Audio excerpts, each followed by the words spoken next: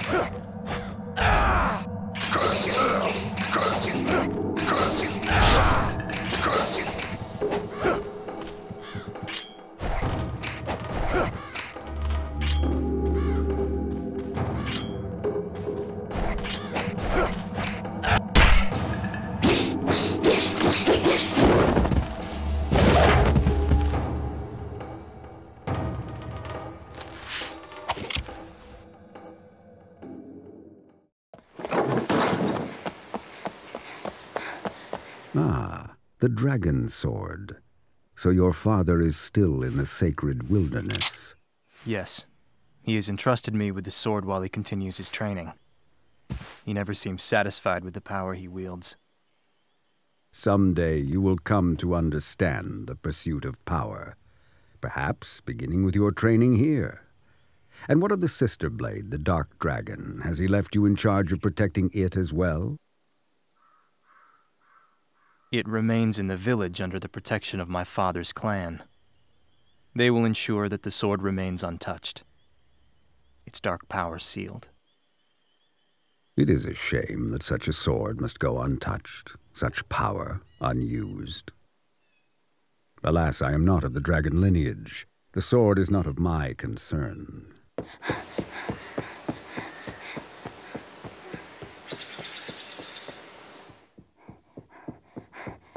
Master Murai, the Hayabusa village.